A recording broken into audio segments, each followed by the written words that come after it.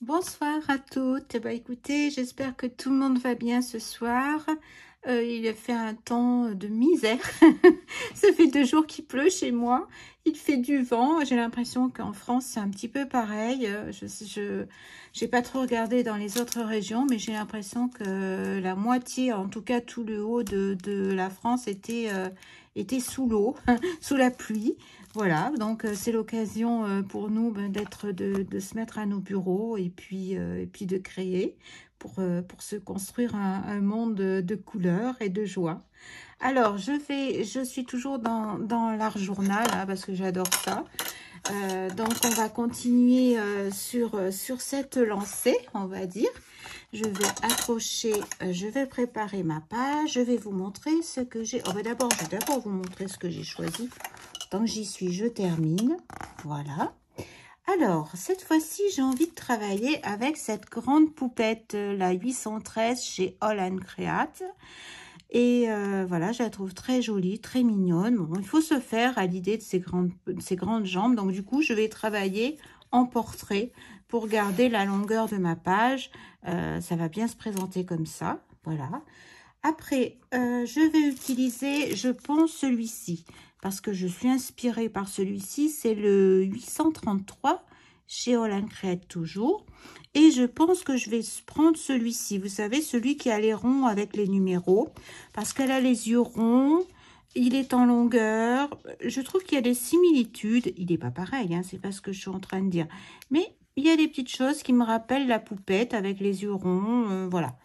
Et puis, bien sûr, je conserve près de moi celui-ci. C'est le 117 que j'adore, qui ressemble à une dentelle.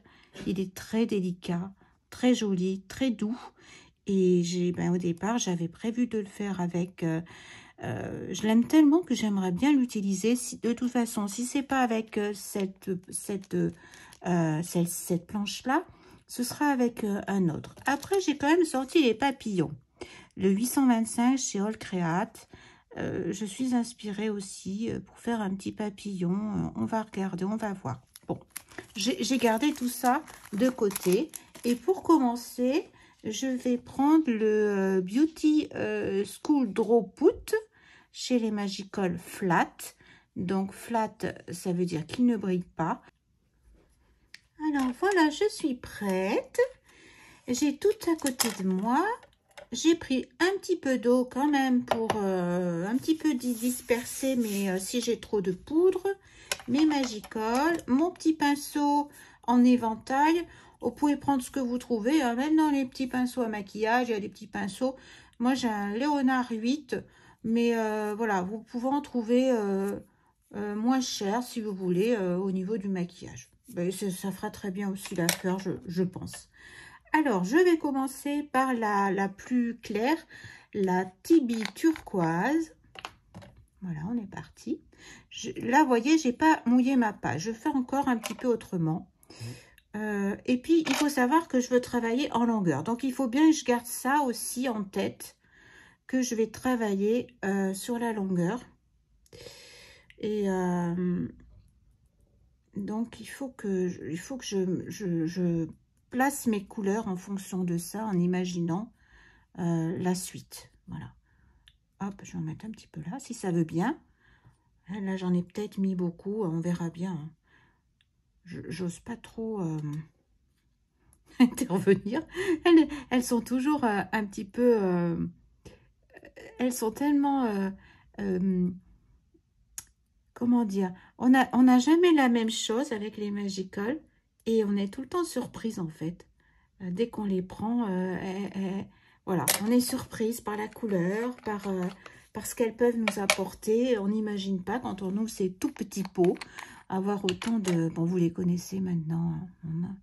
On n'a plus à faire leur, leur présentation. tout le monde les connaît. Et puis c'est vraiment... elles sont Moi, depuis le début, j'ai dit... ça, c'est bien parce que pour les, les débutantes, pour les novices, comme pour celles qui ont d'expérience, bah écoutez, euh, c'est un plaisir parce qu'on a un petit fond euh, très sympa avec du résultat euh, très rapidement, je trouve. Pourquoi s'en priver en fait? Allez, c'est parti Alors, je vais me mettre suffisant. J'ai mon petit chiffon là, si je fais des bêtises. Je vais d'ailleurs prendre un petit peu de sopalin en plus. J'ai un reste de sopalin. Et je vais me mettre suffisamment haut parce que cette fois-ci, j'ai voulu faire avec ça. Alors non. Vous voyez, je suis partie avec le vaporisateur. Le, oui, le, le vapo. Le gros là, vous savez, c'est gros comme ça là. Les brumisateurs. J'ai trouvé le vrai nom. Et j'aime mieux mon petit truc là. Je, avec mon pulvérisateur, je me sens plus à l'aise. Alors, je me mets suffisamment haut. Y a, il y a la caméra qui est au-dessus. Mais on va tenter. C'est beau, hein, regardez. Waouh C'est un régal à chaque fois. Euh, voilà, j'arrête, j'arrête, j'arrête. J'arrête parce que je me laisse tout de suite... Euh, je vais venir un petit peu... Hmm, peut-être en mettre un peu plus là. Voilà. Je vais laisser comme ça. Je ne vais pas forcément euh, remplir la page. Hein. Je ne sais pas si vous voyez ce que je veux faire. Je veux juste faire un, léger euh, flou autour. S'il y en a trop, on n'hésite pas à l'enlever si on trouve qu'il y en a trop. Et même à rincer son pinceau. Si ça prend trop la couleur. Euh, voilà, je veux juste avoir un petit... un flou. Voilà.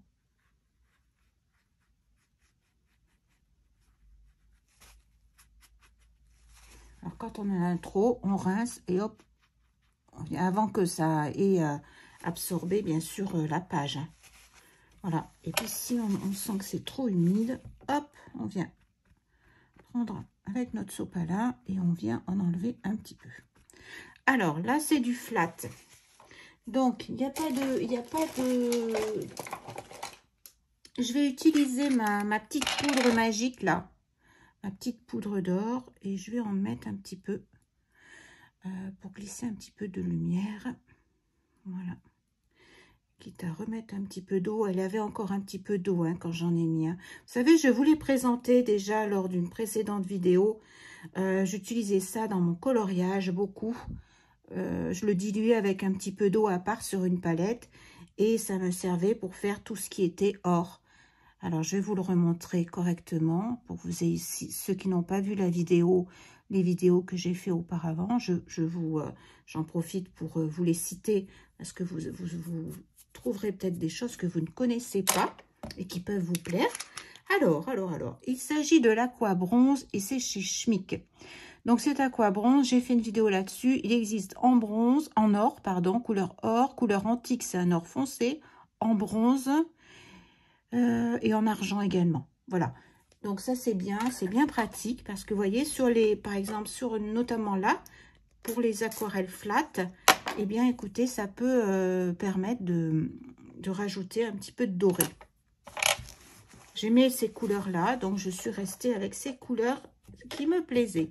Alors, elle n'est pas très, euh, pas très foncée, mais elle me plaît comme ça. Je ne la veux pas plus foncée parce que je pense que je vais rajouter beaucoup de choses et, euh, et je veux pas forcément, euh, pas forcément, je vais mettre juste un petit peu d'eau avec mes doigts comme ça. Vous voyez, quand vous hésitez, que vous avez peur de mettre trop d'eau, n'hésitez pas avec vos doigts euh, aux endroits que vous voulez, un petit peu d'eau, hop, comme ça. On fait de la patouille, hein, des fois.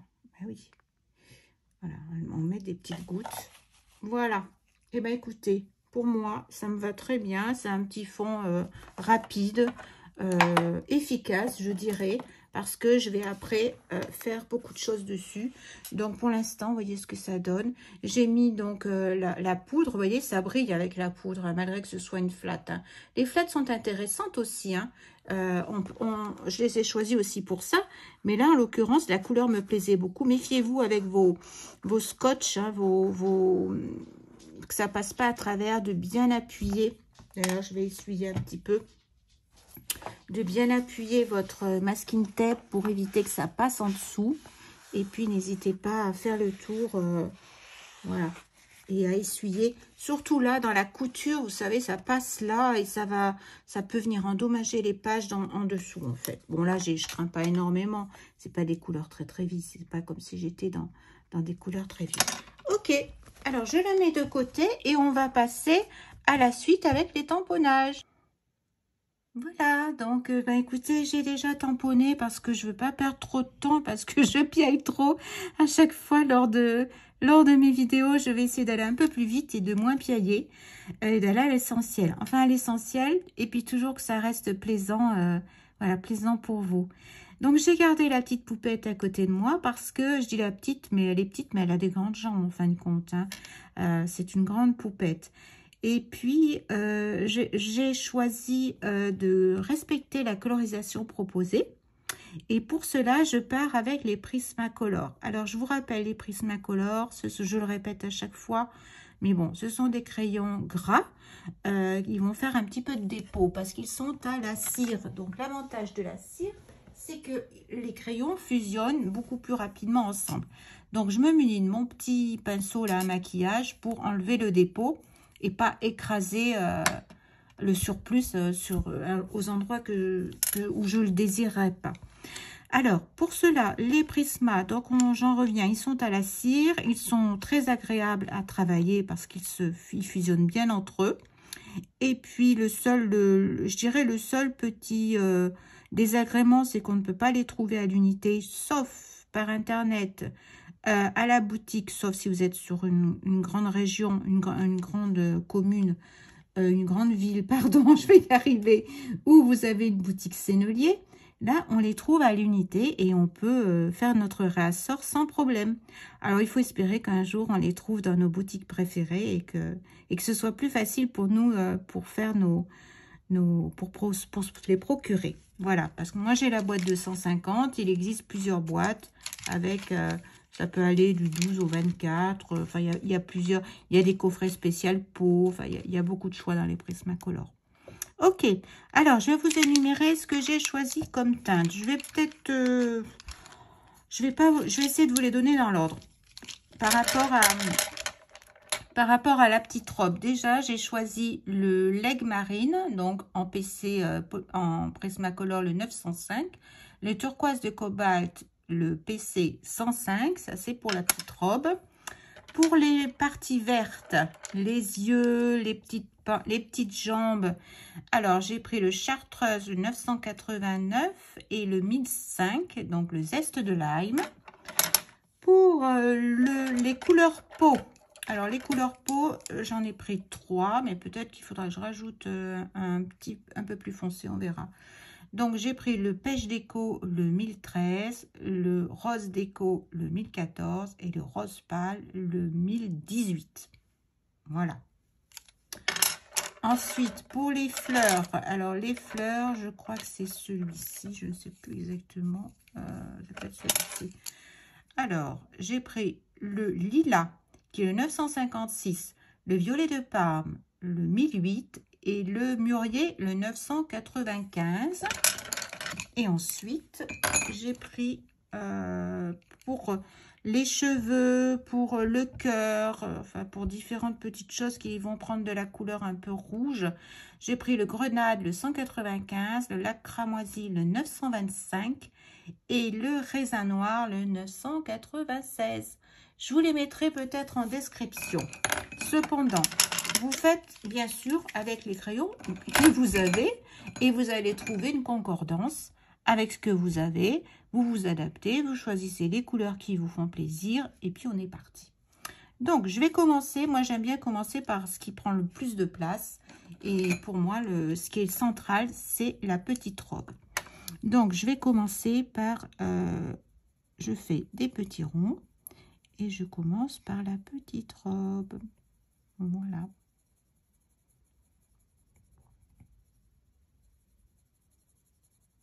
Ils sont très agréables, hein, ces crayons gras. Moi, il y a un petit moment que je ne les avais pas, pas pris en main. Alors, il faut se réhabituer à chaque fois. C'est comme un petit défi à chaque fois de se réhabituer parce que quand on, quand on a plusieurs euh, gammes de crayons, eh bien, euh, quand c'est tout nouveau, eh bien, on, les travaille.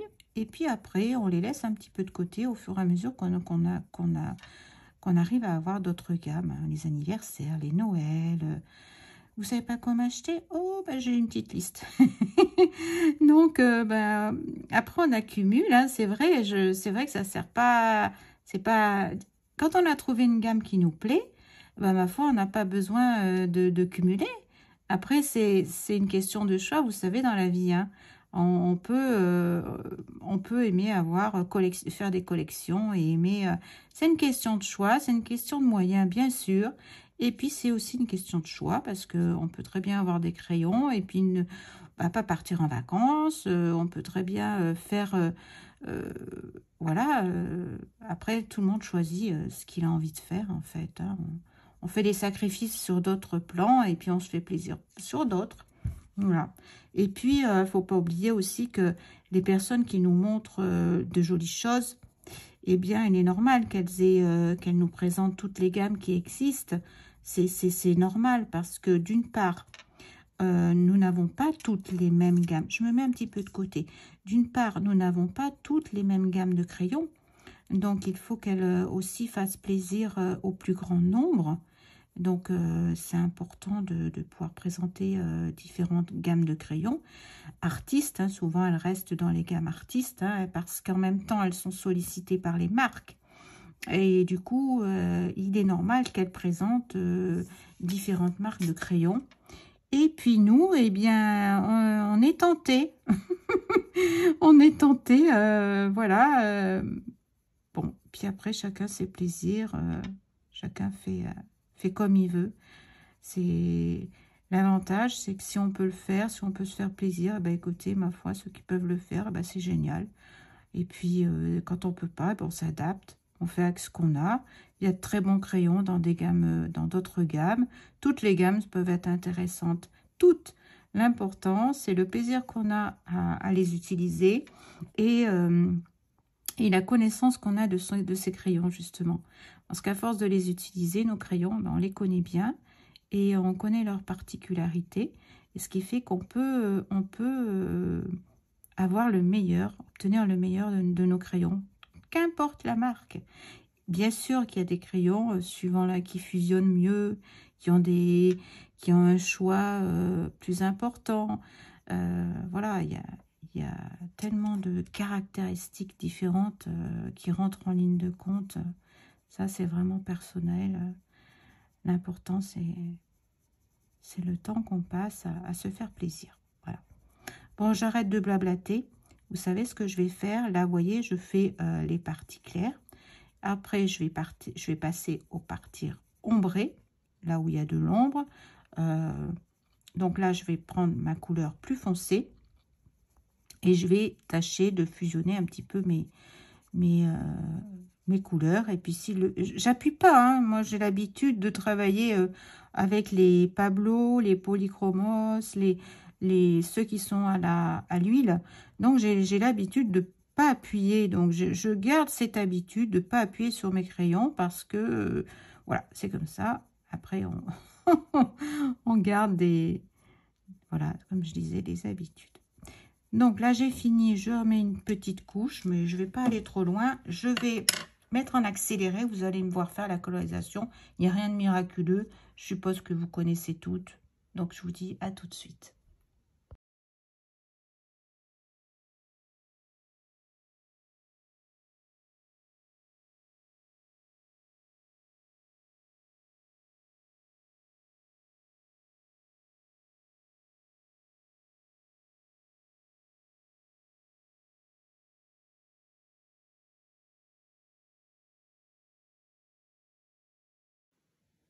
Alors là, j'ai fini la petite robe. J'ai fait une petite pause pour vous montrer ce que vous avez vu parce que ça, j'ai oublié de vous en parler et je préfère vous le montrer. Euh, vous avez vu, j'ai utilisé donc les deux bleus. Euh, pour qu'il y ait un petit peu plus de lumière au milieu, j'ai essayé de, fondre délicatement. J'avoue qu'il m'a fallu un petit peu de temps là pour reprendre connaissance avec les Prisma. Ça fait un petit moment que je ne les avais pas utilisés. Et pour fondre les couleurs, moi j'utilise le Darwin Drawing en blanc, c'est 7000...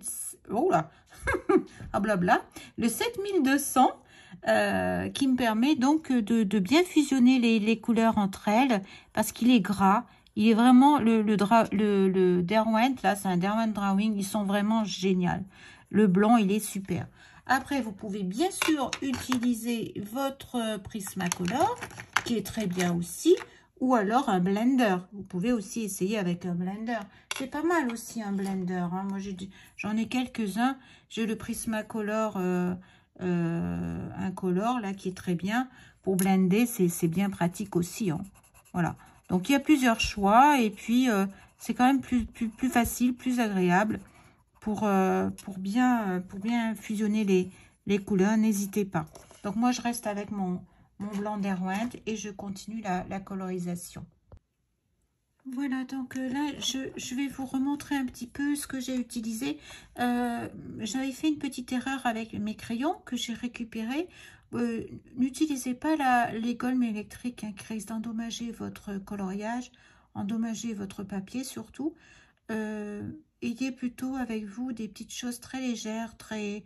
la mono zéro, la petite gomme avec des petites cartouches. Ça, c'est vraiment super parce que vous voyez la mine. Bon, il faut bien sûr s'assurer qu'elle est propre. Je vous l'ai déjà présenté. Ça, c'est vraiment bien quand on a des, petites, euh, petites zones où on s'est trompé. Je ne la retrouvais pas.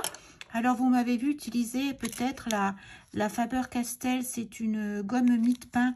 Et quand on a des petits endroits, euh, comme là, j'avais une petite zone à enlever, eh bien, euh, j'ai fait avec ça. C'est bien aussi, ça dépanne bien. Euh, c'est quand on a vraiment des petites choses à enlever euh, très fines. Voilà, donc j'ai fait la, zone de, des cheveux. Je vérifie un petit peu. Et puis maintenant, je vais faire les yeux. Alors, les yeux, il y a quand même un tour là qu'il faut que je fasse. Il n'est pas très régulier, le tour. Donc, on ne va pas s'embêter. Alors, pour le tour, j'ai pris un brun blanc de sable et c'est le 1094 que j'ai pris. Et on va je vais se faire un peu un rond. Voilà. Je vais essayer de faire un rond. S'il n'est pas régulier c'est pas grave. Voilà. Très bien. Et puis je vais essayer de le, le travailler un petit peu en épaisseur pas trop en fait, je me rends compte que les prismas, vous voyez, j'avais perdu l'habitude. Hein. ça faisait un petit moment que je, travaillais qu'avec les Pablo et les polychromos. Et comme ils sont euh, à l'huile, eh bien, j'appuyais pas sur mon crayon tout à l'heure quand j'ai repris en main le, les prismas. Et celui-là est plus grand, donc je vais le travailler à l'intérieur. Je vois que mon œil est, plus, est un petit peu plus grand de ce côté, donc je vais venir le travailler à l'intérieur pour le réduire. Voilà, c'est pas bien grave si elle a deux yeux. Euh, ça va.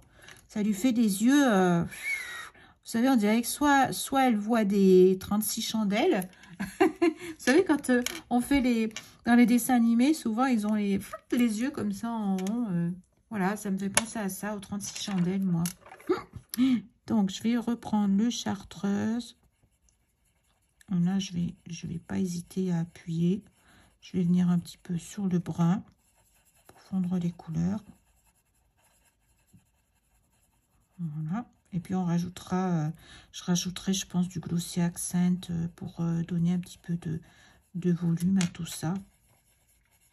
Voilà, j'hésite pas à, venir sur le brun, voyez, pour fondre l'ensemble. Et voyez, cette fois-ci, j'ai vu avec plus, plus d'entrain, hein. j'ai plus d'assurance. Voilà. Et puis euh, le blanc, bah, écoutez, on va voir. On va travailler la peau ensemble. Alors, on va commencer par le plus clair des trois. Euh, il y a le déco, le déco, le rose pâle et le rose déco. Il y en a un qui me sert pour... Euh, je vais tous les reprendre. Celui-là va me servir pour les joues. Le rose un peu... celui rose clair. On va commencer d'abord par le, le pêche déco. Hmm. Oui, le pêche déco ne semble plus, que ce rose-là. Allez, on y va pour le pêche, le pêche déco. Et là, je vais, je vais aller partout, en fait. Je veux pas spécialement de zone blanche, puisqu'on fond les couleurs ensemble de toute façon. Donc, on va venir mettre euh, plusieurs couches. Vous voyez, je, fais des petits ronds en coloriant. J'appuie, j'essaie d'être régulière, hein, euh, pas avoir des zones où j'appuie plus qu'à d'autres. Je préfère euh, repasser plusieurs fois que, que d'appuyer trop et, de trop marquer mon, papier et qu'après j'ai des marques, parce qu'il faut, faut pas qu'on ait de marques, c'est ce serait pas joli sur notre, notre coloriage. Elle est rigolote cette poupette parce que je m'aperçois en la coloriant qu'elle a une tête carrée. Non seulement elle a des grandes jambes, mais vous voyez, elle a... Elle a... Là, on va lui faire son petit coup. Elle a, le, elle a pas de menton, elle est carrée. D'habitude, on parle des, filles carrées, euh, celles qui ont des grandes épaules. Ben non, elle, elle a une mâchoire carrée. Ça se dit aussi d'avoir la mâchoire carrée. Hein. Euh, il y a des personnes qui ont la mâchoire carrée. On n'est pas tous identiques, heureusement. Voilà. Et je reviens un petit peu plus euh, sur les côtés, là.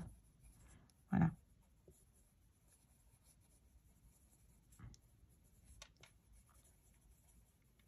Maintenant, je vais prendre le rose. Alors là, c'est le, le 1014. Puis après, je vais voir peut-être qu'il faudra mettre une petite couleur un peu plus foncée. Mais là, on n'est pas dans du coloriage pur, pur, Hein. C'est des petites poupettes, euh, elles sont... Euh, euh, c'est pas un visage, on fait pas exactement un visage. Donc là, on peut se permettre des couleurs un petit peu, un petit peu extravagantes ou qui sont pas tout à fait une réalité.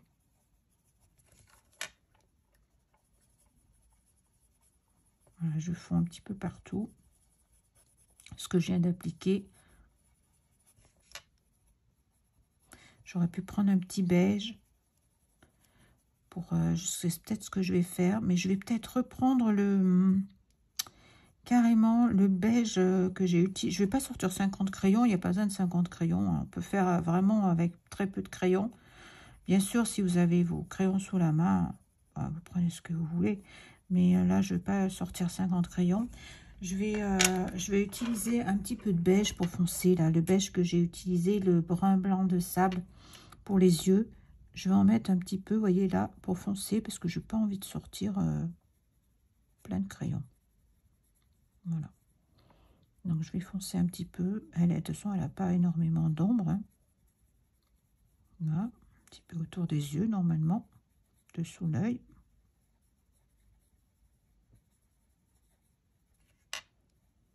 Je vais foncer aussi un petit peu là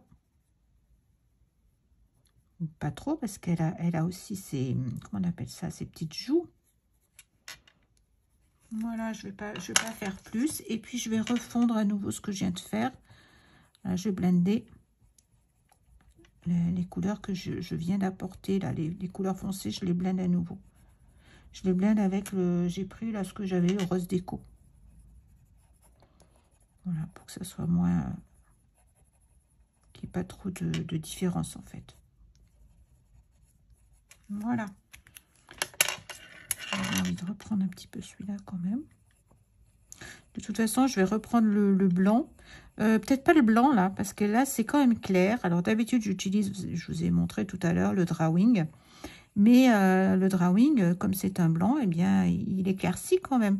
Donc là, je vais peut-être blender avec un blender traditionnel, euh, tout simplement. Alors après, on prend les couleurs. Vous voyez, des fois, je... elle est claire hein, de peau. Hein. Elle, a, beaucoup de luminosité au milieu. Moi, j'ai pas suivi la... exactement. Voilà, maintenant, on va lui faire les, les petites... J'ai pas suivi exactement les mêmes... Euh. Et là, je vais lui faire des petites joues bien roses. Si j'arrive avec celui-ci. Voilà. Et celui-ci, c'est le rose pâle que j'ai pris. Alors, normalement, elle, elle a des roses voilà, qui viennent comme ça.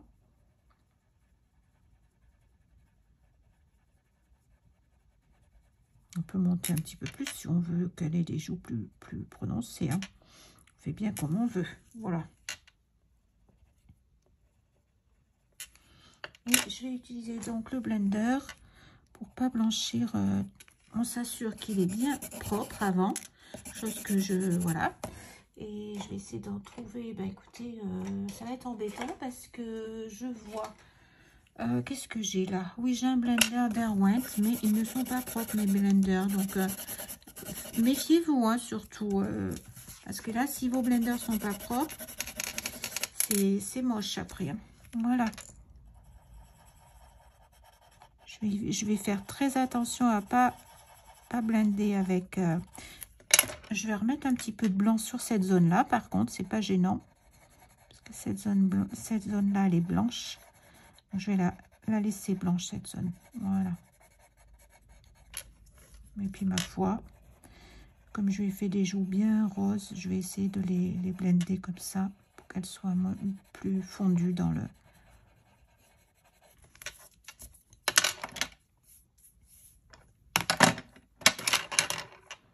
Voilà, puis vous retravaillez comme vous avez envie. Hein.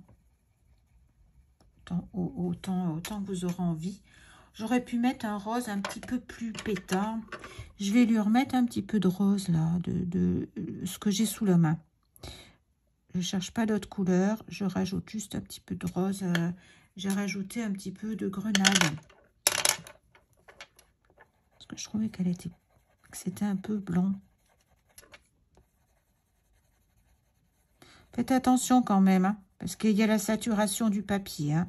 Donc, il arrive à un moment où bah, il faut arrêter, hein, parce que sinon, on, fait des bêtises après. Si on appuie trop, etc., le, papier, après, il dit stop. Voilà, donc là, je vais, je vais arrêter.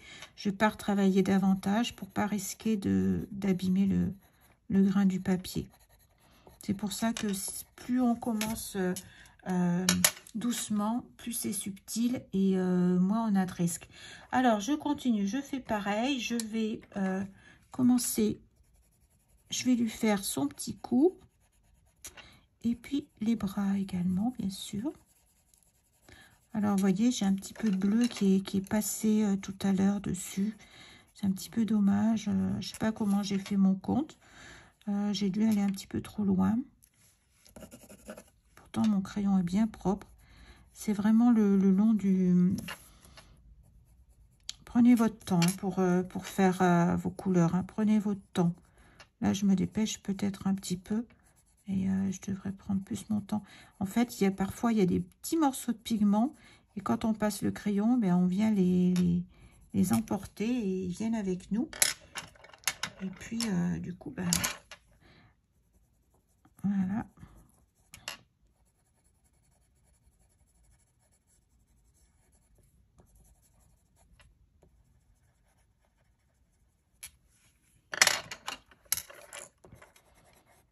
Toujours le blanc. Bon, c'est pas une grande, grande colorisation. Il n'y a, rien de, y a rien très exceptionnel. Je reprends le, le, brun, le brun sable que j'ai pris pour les yeux. Je vais aussi l'utiliser pour ces petites chaussures. Ça m'évite de sortir. Euh, et je vais le blender avec un petit peu de rose. Voilà. Pour que ce soit pas trop foncé. Voilà. Et puis, je vais faire la petite fleur. Alors, la petite fleur, elle est violette. Donc, je vais commencer par euh, le haut de la fleur légèrement.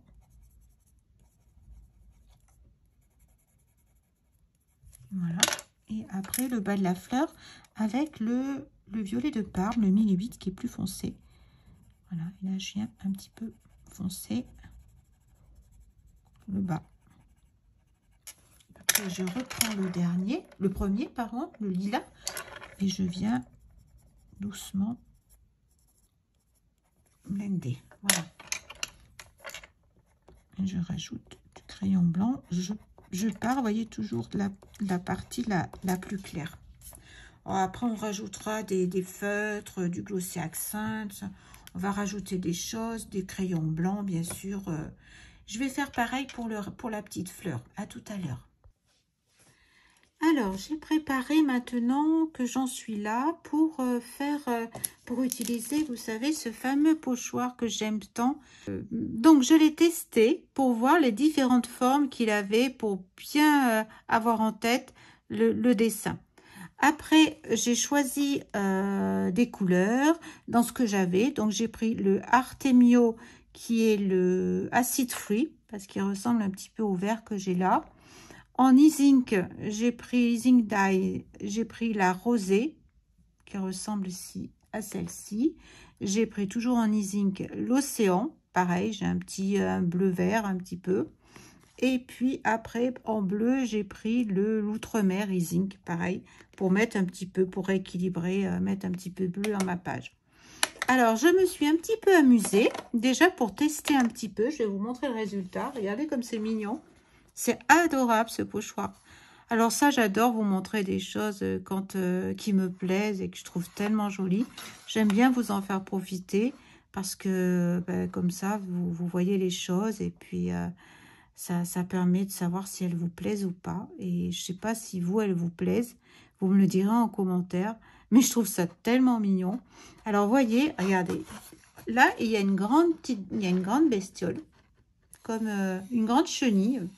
Oh, un petit peu elle est un petit peu fantaisie, hein, mais c'est une grande chenille. On a comme une petite, euh, une petite abeille, une libellule également. Au centre, on a des petits ronds. Et puis, il y a également des fleurs. Vous voyez, on peut faire des fleurs d'angle et une fleur au milieu. Tout ça dans ce pochoir. Il est vraiment très, très intéressant. Voilà, donc j'ai regardé un petit peu ce que j'allais faire. J'ai pris mes petites brosses vous avez compris. Euh, voilà, je trouve que je vais plus vite comme ça. Ce qu'il y a, c'est que je vais être obligée de nettoyer régulièrement ma brosse. Et puis, il ne faut pas que je, fonce trop, trop non plus. Parce que je voudrais que ça reste quand même subtil. Et puis là, je vois que je me suis bien lancée. Alors après, je vais mettre un peu de jaune. Voilà. Ah oui, en effet. Hein. Voilà, un petit peu de jaune. Mais là, euh, vous avez vu un peu comme ça, ça marque vite. Je me suis pas rendu compte que ça marquait autant. Je vais le, je vais le dégrader. Alors, il faut que je me remette dessus correctement.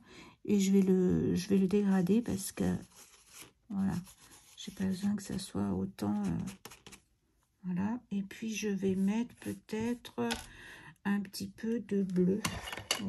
de bleu outre-mer.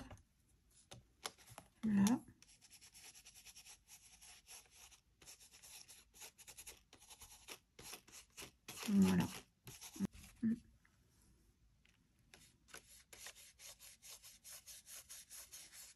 J'ai du jaune dessus qui est resté. C'est dur, hein, il faudrait avoir plusieurs brosses, hein, parce que sinon... Mais bon, ça fait aussi des mélanges, ça peut faire aussi des mélanges intéressants. Hein. C'est pas toujours... Euh, c'est pas toujours euh, dommageable que les couleurs... Euh, je vais nettoyer, je vais reprendre, j'ai une deuxième brosse, je vais prendre l'autre brosse. Euh, je vais mettre euh, du bleu.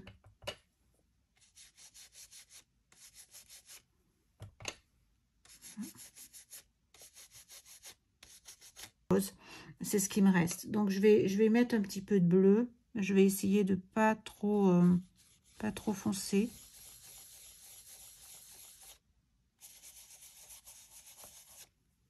Il est vert. je n'ai pas assez nettoyé ma brosse.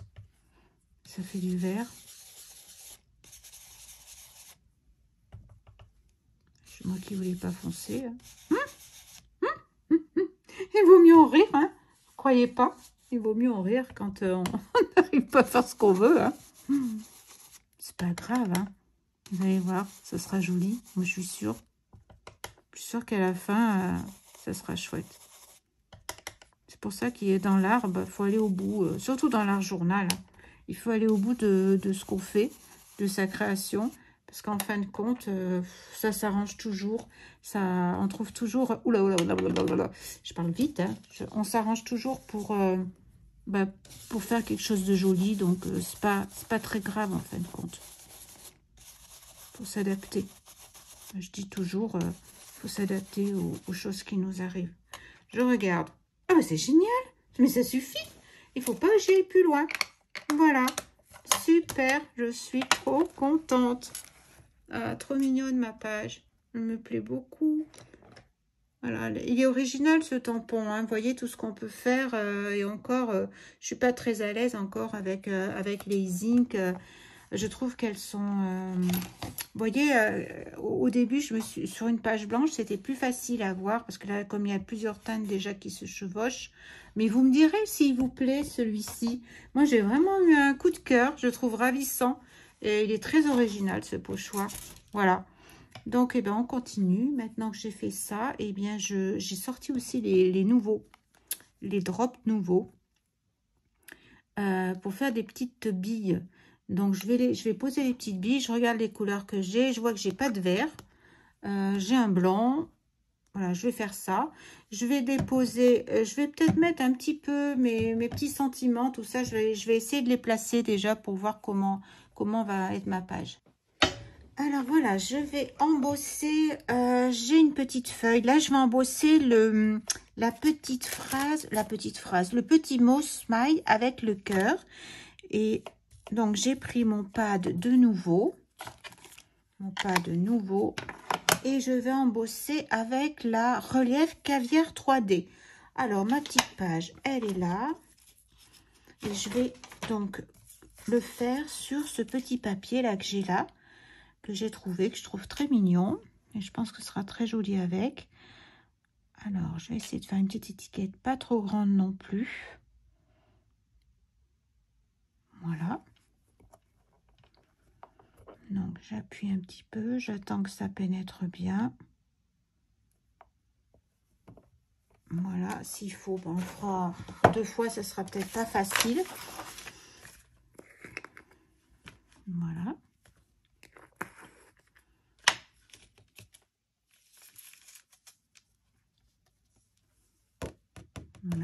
il, sort très bien déjà. Et je vais euh, mettre le, le, le Voilà, il est très joli. Il brille bien. Il est sorti également les nouveaux. Euh, je ne sais pas si je vous les ai... Oui, je crois que je vous les ai déjà montrés. J'en ai des glitters, voyez, comme le bleu, celui-ci, c'est un glitter.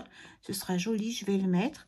Euh, j'ai le celui-ci, un, un, framboise, rhubarbe crumble ce sera joli aussi. Je vais mettre des petites gouttes euh, de nouveau, des cristal drop. Voilà, je vais mettre quelques petites gouttes de droite, comme ça, un petit peu à droite, un petit peu à gauche. On va mettre un petit peu partout. Euh, je vais finir cette petite page et puis euh, bah, je, vous, reprends après pour la fin pour vous commenter tout ce que j'ai fini d'installer. À tout à l'heure. Voilà, donc la page est maintenant terminée. Je fais un petit peu avec vous le tour de la page qu'on regarde un petit peu ensemble.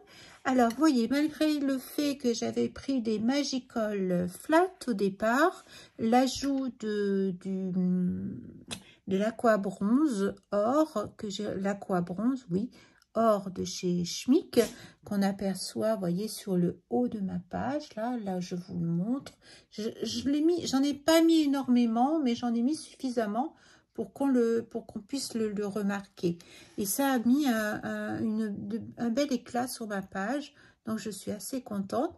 Bien sûr, on aperçoit le doré du masking tape. Ce masking tape, il vient d'un petit lot que j'avais eu chez, euh, chez Action. Je l'avais trouvé. Voilà.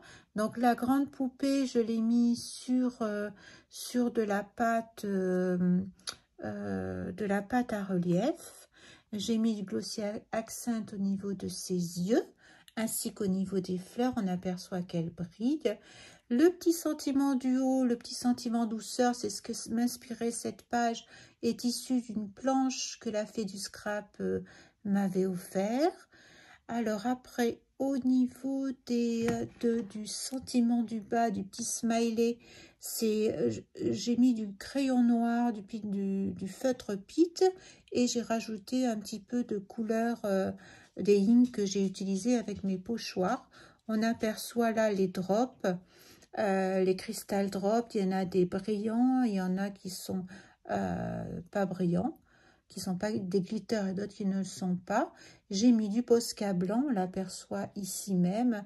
Et puis, j'ai mis un petit peu de Posca rose, un petit peu de Posca or également. Voilà. Et puis, bien sûr, euh, le, le, joli sentiment euh, qui était sur cette page. I'm glad I meet you. I hope you know that.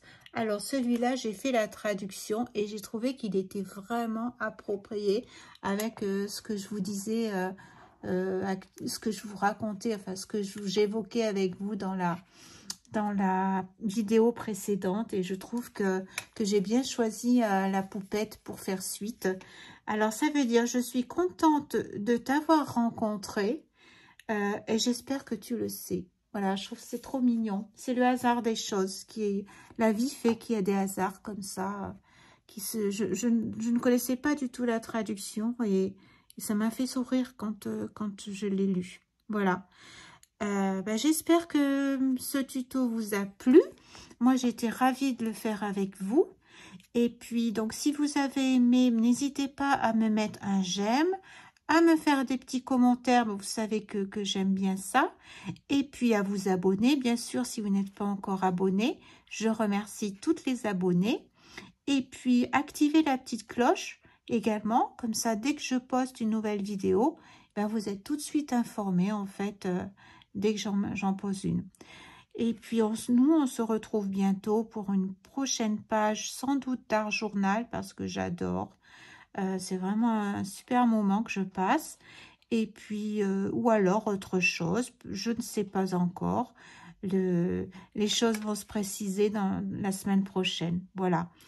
En tout cas, bah, écoutez, je vous souhaite une très bonne fin de journée. Je vous embrasse bien fort. Et bien sûr, je vous dis à très vite. Au revoir.